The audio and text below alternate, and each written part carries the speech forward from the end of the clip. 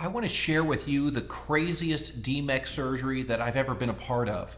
About a month ago, I was performing DMEK in an eye with bullous keratopathy secondary to glaucoma. And during this operation, after the descemetorrhexis had been done, the patient experienced on the operating room table a suprachoroidal hemorrhage. And I observed this because the eye became rock hard and the chamber collapsed and the patient's IOL in the capsular bag came prolapsing up anteriorly through her two millimeter pupil. When I recognized the problem, I put a stitch in the main wound and concluded the case. But then the patient comes back to clinic the next day. She has the whole IOL and the capsular bag jammed up against the back surface of the cornea, and she has this massive suprachoroidal hemorrhage. We send her to the retina specialist, and he says that we can drain the suprachoroidal hemorrhage two weeks later. And when that's done, then maybe we can do something about this IOL in the anterior chamber and about the decompensated cornea. So, what I suggested is at the time of draining the suprachoroidal hemorrhage, why not try to refixate her existing lens in the eye and perform the originally scheduled DMEK. And that's what this video is that I want to show. It's a combined procedure to drain the suprachoroidal hemorrhage, to refixate her IOL, and to do a DMEK. Here's the retina surgeon. He's taken down the conjunctiva temporarily in the location of the suprachoroidal hemorrhage. He's hooking the muscle. I'm going to make a paracentesis and instill an anterior chamber maintainer to pressurize the eye such that then when he cuts down into the sclera here with a hockey stick knife and depresses the edge of this wound, now that blood will come gushing out. Here's what the eye looks like. The cornea is sallow and green, and the IOL and the capsular bag are all mushed up against the back surface of the cornea, and the chamber is collapsed. So I'm going to make a few little paracenteses here, and then a three millimeter clear corneal wound. And my original plan here is to take this IOL out, which is encased in this capsular bag with Soemmering material, by cutting it in pieces and then removing these pieces from the eye. However, when I try to do this, when I try to reach into the eye and grab the lens with IOL grasping forceps and to cut it with these IOL cutting scissors, what I observe is the chamber is shallow and I can't really finagle my instruments in.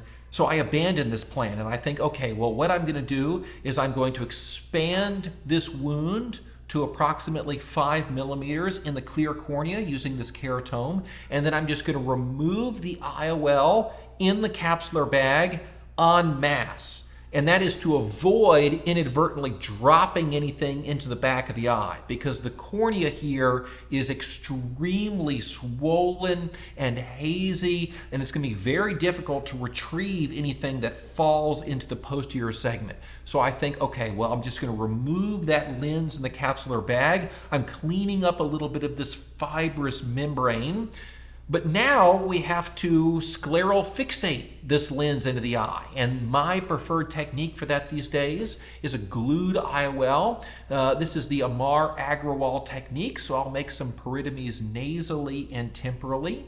And then directly 180 degrees across from each other, I'll make these scleral flaps. I'm dissecting them partial thickness here with a crescent knife. And um, this is used first to groove the flaps and then to tunnel through the sclera carefully just to make these flaps 180 degrees apart. And at the base of these flaps, one millimeter from the limbus, I'll make a 23 gauge sclerostomy with a 23 gauge needle. And that is to externalize the haptics of the IOL.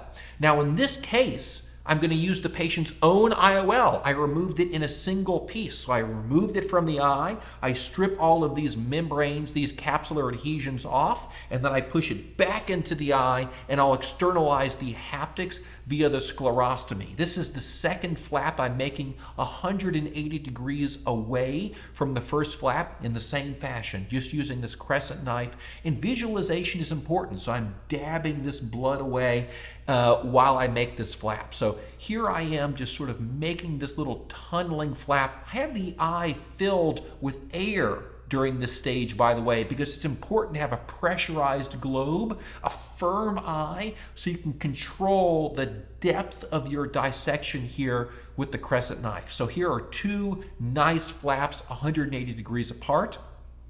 I'm instilling now into the pars plana, this is a chandelier illuminator.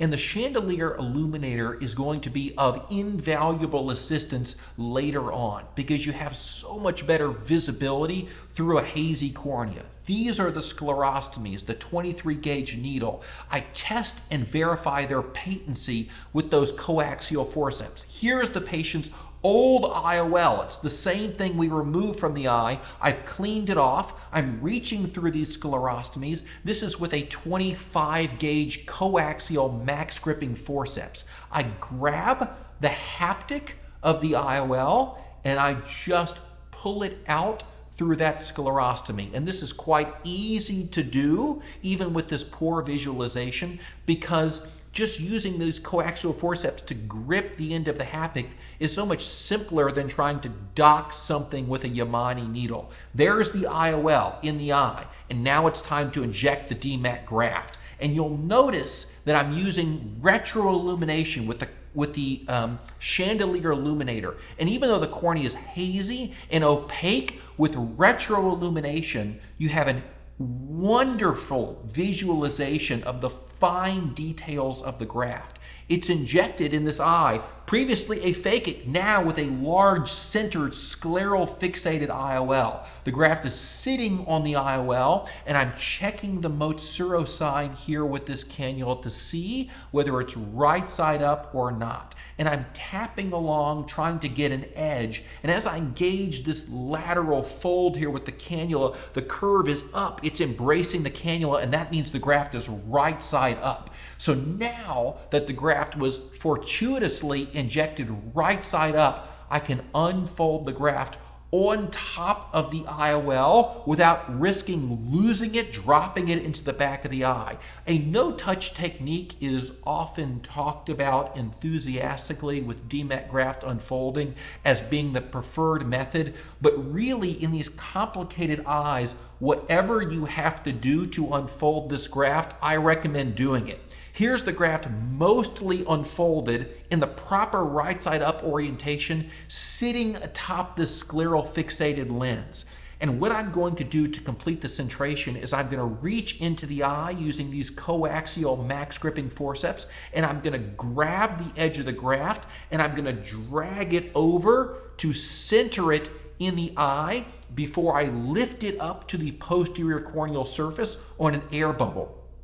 So I'm holding one edge and I'm tapping the opposing side using a cannula on the surface of the eye. And you'll notice I still have a little kink there in the graft, but that's okay. I just reach across the eye internally and I use my cannula to poke this graft over. And if you're cringing and thinking, oh, you're touching the graft, you really shouldn't be doing that. This is an unedited video showing the graft unfolding. Graft unfolding in this extremely difficult eye can proceed safely here in the span of, this is a minute, 90 seconds or so. It's quick and it's effective, and that's what you need in such a complicated eye. You need something that works reliably. Here the graft is unfolded and I'm going to lift it up to the posterior corneal surface atop an air bubble. This is all done through the main wound, by the way. So if you're a fan of suturing the wound with DMEK, you may reconsider it because the main wound is so useful when doing these various unfolding maneuvers. You'll notice that I have a fold still there distally in the graft edge. And the way you reduce a fold in a DMEK graft after it's been lifted is you shrink the size of the air bubble, you aspirate some of that air, and that gives the bubble more or less room or real estate to move over. So you apply taps on the corneal surface, the so-called bubble bumping technique, and you can iron out these folds that are lingering in the corneal periphery for these DMEK graft edges. So I'm going to show you here now, look how much worse the visibility into the anterior chamber is with this direct illumination versus with the chandelier illumination. The red reflex provides you with so much better visualization. I think the surgery would be literally impossible without the chandelier illuminator in such a complicated case. You can see when you flip back and forth, it is an enormous difference in the clarity of what is going on. So I'll use this little cannula here and I turn the lights on just so I can find my paracentesis. And now I've got the cannula on top of the graft, and I'm just sort of poking that edge over, open into the periphery. And there it is. And now the graft is fully unfolded. This is a large diameter graft, by the way. This is a 9 millimeter graft. That's my preferred graft diameter in these aphakic eyes in which you have a scleral fixated lens. You need something big so it occupies space and you can get nice compression in this otherwise hyper deep anterior chamber. The graft is totally unfolded and I'm lifting up, lifting it up completely to the posterior corneal surface on top of an air bubble. And this is the conclusion of the operation. This is the end of the case. And I show this video because uh, the surgery was very personally gratifying to perform. It was a fun, challenging case. And I think that this, I think, probably should be very good evidence that DMEK is possible in any eye. This is an eye that has a suprachoroidal hemorrhage, that has an IOL mashed up against the back surface of the cornea, that has no iris and no visibility. And in this case, we drain the suprachoroidal hemorrhage, we re-scleral fixate the patient's existing IOL, and perform DMEK. So if DMEK can be done under these circumstances, there is probably literally no eye that is too sick for DMEK. I think the key concepts here that were important are number one, the sort of belief in the possibility of the procedure.